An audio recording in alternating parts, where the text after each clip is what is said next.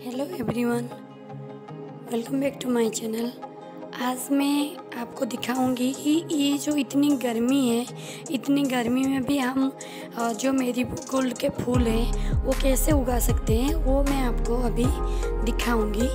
तो देखिए, ये जो मेरी गोल्ड के जो फूल हैं, इसको मैंने सुखा के रखा था। जो विंटर में मेरा मेरी गोल्ड के फ्लावर हुए थे ना तो उसको मैं सुखा के रखा था।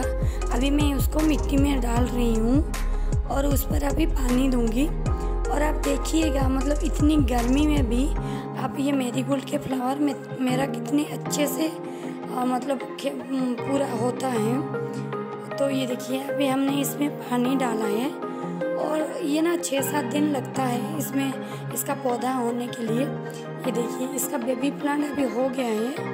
तो ये अभी मतलब देखिएगा, दस पंद्रह दिन में ये कितने अच्छे तरीके से फूल देगा। तो ये अभी बेबी प्लांट हुआ है। दस पंद्रह दिन के बाद इसमें बहुत ही ज़्यादा फूल आएँगे। तो आप लोग अगर मेरे चैनल पर नहीं हो, अगर ये वीडियो फ़र्स्ट टाइम देख रहे हो तो मेरे चैनल को सब्सक्राइब कर दीजिएगा, वीडियो को लाइक कर दीजिएगा, और जो नोटिफिकेशन बेल है, उसको ज़रूर क्लिक कर दीजिएगा, ताकि ऐसा ही वीडियो आपको नेक्स्ट टाइम देखने को मिले। तो देखिए, मैंने जैसे ही बोला था, दस पंद्रह दिन अभी हो गए हैं मतलब पंद्रह दिन तो हो गए हैं।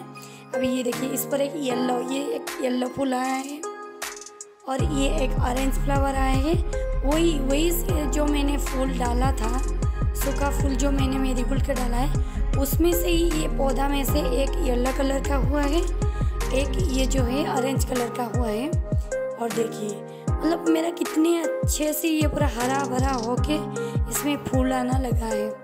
तो और पाँच छः दिनों के बाद इसमें कितने सारे और भी फूल आ जाएँगे। पाँच छः दिनों के बाद इसमें बहुत ही फूल आते हैं।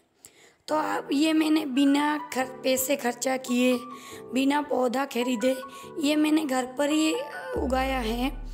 तो आप लोग चाह चाहो तो आप घर पर भी मेरीगोल्ड के फ्लावर ऐसे उगा सकते हो। ज़ीरो इन्वेस्टमेंट में कोई पौधा नहीं, कोई सीड्स नहीं, कुछ नहीं खरीदा।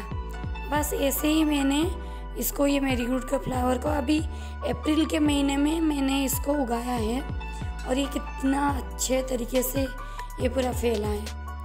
और एक ही फूल में से मतलब सूखा फूल में से अलग अलग पौधा हुआ